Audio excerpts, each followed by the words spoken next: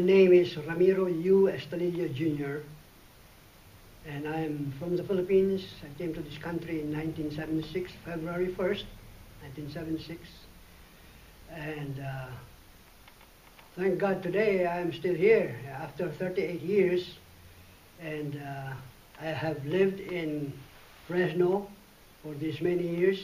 I got stuck and got in love with Fresno, California although I have had the opportunity to go out of California, out of town to uh, meet martial artists that are so great that I have known them uh, since uh, I came to this country.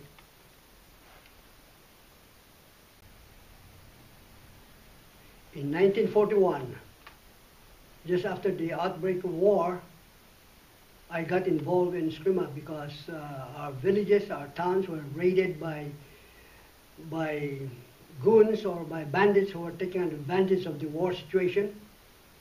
And uh, the leaders in our community uh, encouraged all those that are able from 10 years old to any age to, to band ourselves together and that's where I got involved in. Uh, the teachers were uh, a mixture of people, old people from the different tribes who were no longer able to go back to war, but were veterans of World War One, and they were our teachers and leaders in that back in in the Philippines in 1941, 42, 43, up to 45, and. Uh, among the teachers were my father, uh, Ramiro Abilier Estalilla Sr., and, uh, and some other guys whose names now uh, has uh, slipped my mind, but uh, in some of my literatures that I have written, I have them all in writing, and all the names, those of anyone who would like to have a copy later on of those literatures, they, they can have it uh, from me. And Bermudez, Gonzalez, uh, and um, Roque, Banay, Precious were the names of the big guys, older men uh, who were about four, in their 40s or 50s at the time. And uh, I was only a, a, a teenager, uh, 12 years old, 13, 14, and 15.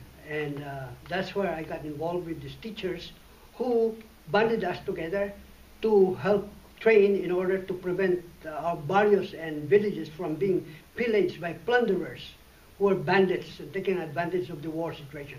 That's where I got involved.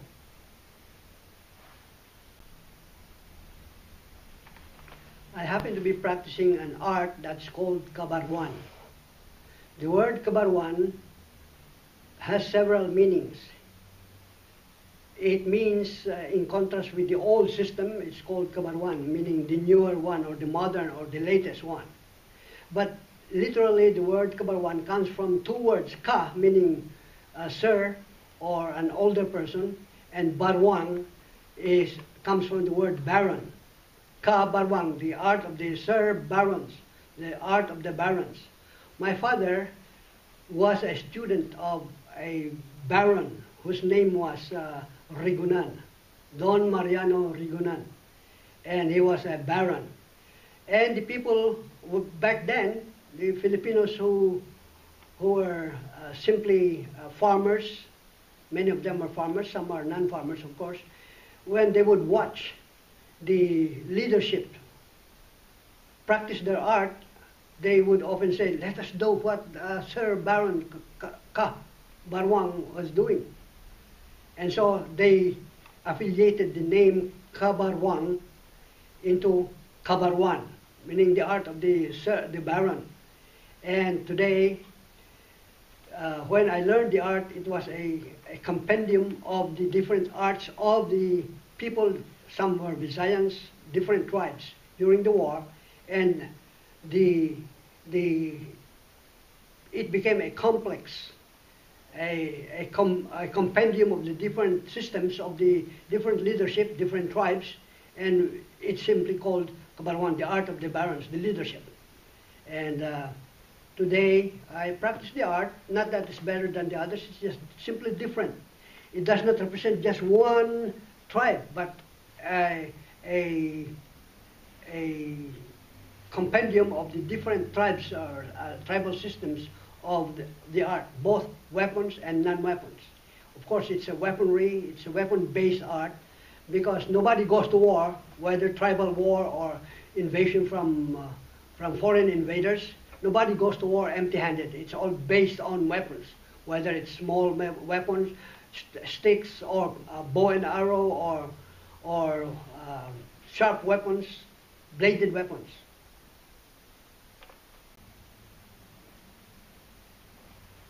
When I came to this country in 1976, I found that uh, the old, there were older guys who were uh, of the same tribe and different tribes uh, from me. Some were Visayan, some were Ilocano, some were Tagalogs. They were practicing Eskrima. And the first, one of the first persons that I met then was uh, the late uh, Manong Leo Giron. He was 10 years older than me, you know. And uh, I also uh, came to know later on by, by reference uh, the late Cabales. They were good friends, uh, and he became my friend too because I happened to be a minister of a church of which his cousin was a member of our church who was a bishop, and I went to introduce that bishop to uh, Angel Cabales. And that's where he, we get to know each other and became good friends. Anyway, uh, back in 1920, my father came to this country. That was 10 years before I was born. And he stayed in Minneapolis, Minnesota, in St. Paul, Minnesota, and in Seattle, Washington. He taught Eskrima there. I found out later on, just in when after 10 years in this country, or about 15 to 20 years in this country, that when I went to conduct a seminar in uh, in uh, Seattle, Washington, the student of my dad's student came to me and uh, and said, "We have uh, we have learned a little bit of your dad's Eskrima. We are a student of your dad's student, who was a priest. Father Puno was his name, and this guy, uh, Estigoy is his name. Dionisio Estigoy came to me and uh, said, uh, "I learned only a few of the art of your father." And I asked him, and uh, he dis he disclosed to me the the terms in the dialects, I thought he was just kidding, but I found out that he was one of the guys who uh, could verify the terms. I learned the art, he said, only a few of it, but in the dialect. He said, Duyok, Arabes, Sigpat, Saboy, Tagbat, Balsig. Wow, I said to myself, that's, that is a verification because I am the only one who knew the terms, and that guy had spoken to me in the very terms that I knew my dad was in this country and he taught Eskrima way back in 1920, 1921. That's why on my logo, on my, my vest, uh, or I have the 1921 when my dad, after one year, assuming that he taught one year after he came to this country. And then I found out later on, Manong Leo Giron was practicing the same Kabaroan, Eskrima Kabaroan or Arnis Kabaroan. Uh, as my dad. So, well, they came from adjacent provinces, Pangasinan and La Union in the Philippines. And so, among the uh, Ilocano speaking tribes, Ilocanos or Ilocos uh, speaking tribes, they use the term kabaroan, meaning uh, art of the barons, or it may mean the latest uh, style or technique. That is how I got involved, and from that time on, uh, here in this in Fresno, I also was practicing Kabaroan and was showing what I knew. I knew just a little bit of the art, but uh, there was a saying in the land of the blind, the one-eyed man is king. In, the, in la tierra de los ciegos, el tuerto es el rey. I knew a little bit, and I shared whatever I knew to the old people here who had come to this country way back when they were only teenagers, and they have never gone back to the Philippines. And that's how uh, came to be in love with many of the martial artists here, whatever is their style, I became a inter-stylist and inter, uh, inter-tribe or inter-system uh, teacher uh, and practitioner of the martial art of Eskrima, Arnis, or, or Kabaroan.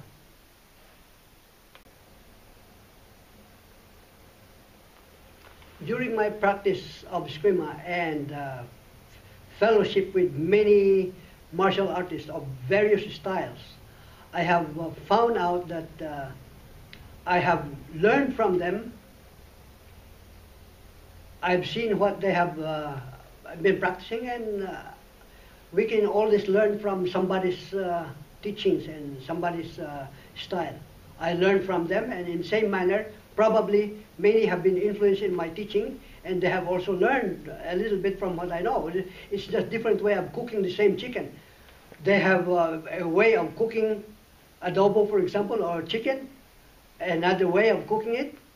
Other other groups doing the same the same thing in a different way, and I consider that a, a plus, not a minus, because what it did was it brought the art of the Philippines to the forefront, so that many today many people uh, in many places they have known Eskrima. In fact, in the militaries, they have uh, uh, pugilism, pugilistic fighting with the staff and uh, with a like a boxing glove at the end. They have that system, and uh, the art of Eskrima has had an influence not only physically uh, and ethically in in the other martial arts, but this I found out. I have not, although as a preacher, I have not, I have not been mixing. Uh, taking advantage of the art in order to preach, I found out that many have come under my influence. I know I can count several guys who, through my little influence, have gone to become, have entered the ministry. That was not my intention that they go into the ministry, but to help them become better people, better person, better uh, citizen of this country.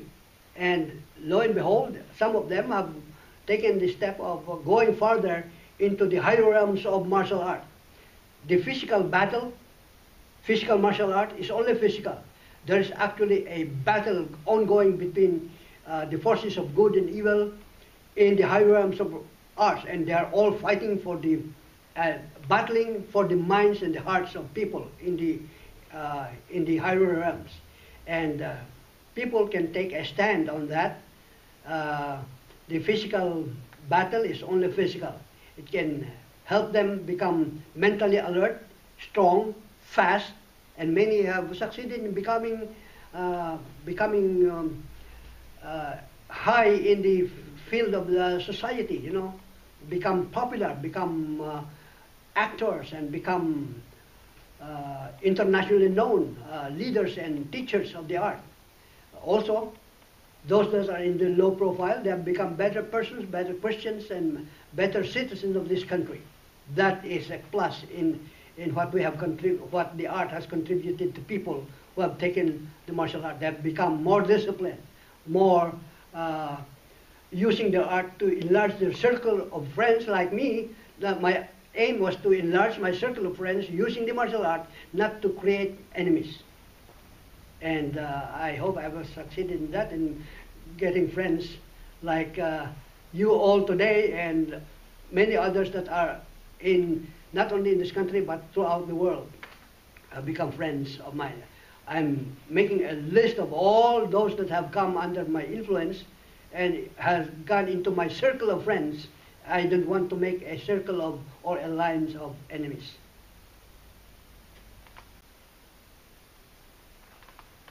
After getting to know a lot of martial artists in various fields, whether it's karate, judo, jiu-jitsu, or boxing, I have come across uh, people and leaders from not only in this country, but also from another country. And because of the association that I found with these uh, great people, I have enlarged my circle of friends and I have also been elevated to a higher, uh, coming up to their level. I'm here and they're coming up. I, now I am uh, almost on par, on level with them. Modesty aside, in 1995 I was inducted into the Hall of Fame for Grandmaster something of the, the art. Then in 1996, in absentia, I was inducted uh, in Florida under Grandmaster uh, Sanchez uh, World uh, Association of Martial Arts. And in 1999, uh, modesty aside, I've been inducted into the World Martial Ar- Art Hall of Fame. And among uh, four people who were given the doctorate of martial art, there was one white guy, black guy, and a Mexican guy, and others. I happened to be the only Filipino with a bald, flat-nosed, uh, brown American. And uh, there were four of us, and I was the only one who was given, uh, all of us were given the doctorate of martial art and the, uh, and the honor of uh, Lifetime Merit Award of Honor. And modest aside, I thought, since I was the only Filipino, in the 30-year history of the World Martial Art Hall of Fame, there was none before me and there was none after me given the doctorate of martial art. And I take pride in using the doc- word doctor. I did not pay a penny for it. I did not owe 50,000 or 100,000 in order to earn a degree of doctor of martial art. I'm just happy that uh, I'm recognized as such and I sometimes claim, you know, I am the first and the only doctor of Filipino, world's first Filipino doctor of martial art. Well, I, I'm not bragging, I'm just saying that this is a fact. And when I get associated with professors like you and other doctors, I said, well, I am also a little bit of a... But the whole thing is this. I came to this country with this purpose, to pay back to America for what American soldiers have done to us. And I came to this country to pay back to America and my ministry here is not only in teaching martial art as a means of supporting my ministry to pay back American ministry, I am also the, I call myself the uh, Prime Minister of Payback American Ministry. I get a kick out of that, my friend. Thank you.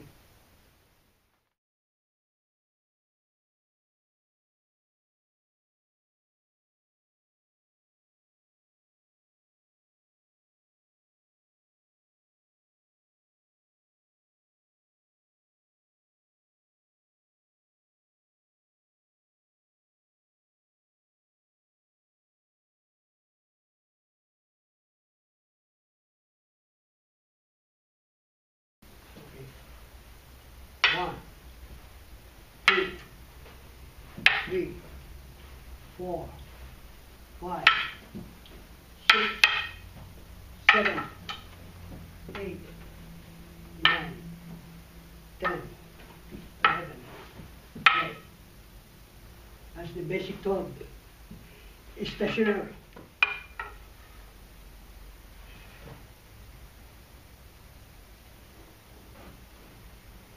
That's, that's just for middle, that's just one out of 18 ways to disarm a middle against middle thrust. Now, for an underlap.